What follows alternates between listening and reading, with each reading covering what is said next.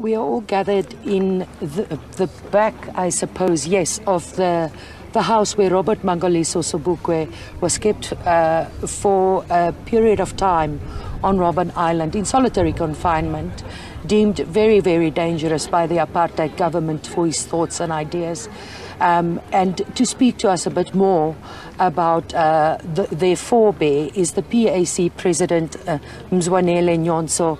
Uh, Mr. Nyhontso, thank you so very much for your time. Um, let's get straight into it. For the PAC, what does it mean to be standing here today? Thanks for having us and greetings to your viewers. It means a lot. It means a lot to the PC, it means a lot to the Sobukwe family, the trust, of course, I believe, and also the to the museum. But as PAC, we are here to make sure that, that we preserve Sobukwe's legacy. We're also here to make sure that we guard against any move to separate Sobukwe from the PAC. There is no Sobukwe without PAC. So we're here to make sure that PAC is not snubbed, PAC, Sobukwe is not separated from us because we are his disciples. We are carrying where we left off. So it means a lot to us. That which he believed in, what do you believe in South Africa uh, should be done today to emulate his example? In fact, everything Sobukwe stood for and his PAC is still relevant as it was in 1959. As, as, as Uncle Joe Tlole said uh, here, that, that if we can imagine this country with Sobukwe's teachings, we would be far by now. Now, if Sobukwe's teachings of Africanism were implemented in 1994, today we would be talking a different story. If Sobukwe's teaching of non-racialism were implemented in 1994, today we would not be having two separate people in one country, whites and blacks. We would be having human beings, as Sobukwe would teach. So, so, so that's what Sobukwe stood for, and that's what this country was supposed to be. And if you look at how dangerous the apartheid government deemed Robert Sobukwe and his teachings, um, it, it, speaks to a lot about the, the power that he held. Yes, yes, he had a lot of power.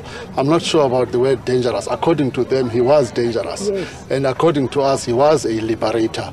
He was, he, he was, he was powerful. Even Vorster said he has a divine, a divine sense of mission, and that's the reason why the, the, the, man was taken here, because according to him, he was going to be kept here until this side of eternity, because he did not want him to talk to the African people.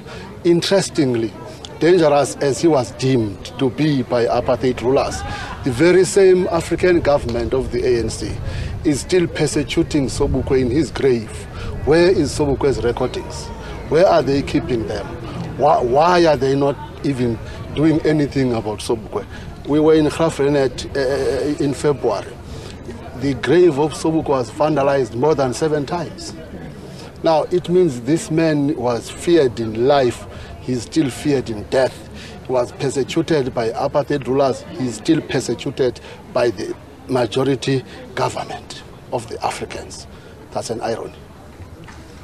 What, what do you hope uh, this dedication by Robben Island Museum for this year and next year of Robert Sobukwe, what do you think it would, would mean? And would it help to raise the profile once more of Robert Sobukwe and that which he stood for.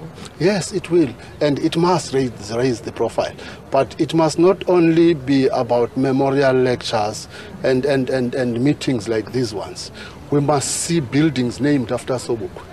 We must see Graaff-Reinet town named after Robert Sobukwe. We must see University of Fort Hare named after Robert Sobukwe. We must see Robben Island named after Robert Sobukwe. Then we will preserve his legacy. It doesn't help to have a memorial lecture and to have a rally and a meeting and talk about them, and it ends there. So if it, it must get a meaning. Big, big buildings, including this country's name, must be changed to Azania. And that's what Sobukwe wanted. Thank you very, very much. That was the president of the PAC, Mr. Mzwanele Nyhontso, uh, speaking there about the powerful legacy of Robert Mangaliso Sobukwe. Um, as he rightly said, he was deemed dangerous by the apartheid government. precisely for his teachings and his thought process and that which he managed to ignite within people the thought that everyone could live as one here in South Africa. And as you heard from the president of the PAC saying, if uh, Robert Sobukwe's teachings were implemented, they believe South Africa would be a much different country today, 29 years after democracy, than what it currently is.